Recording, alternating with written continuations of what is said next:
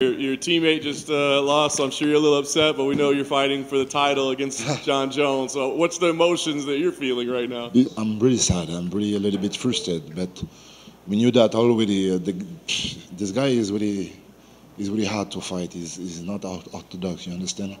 And uh, anyway, anyway, anyway, I'm still happy. I'm still happy because uh, we had a good news today and uh, and uh, let's go uh, to see you forward.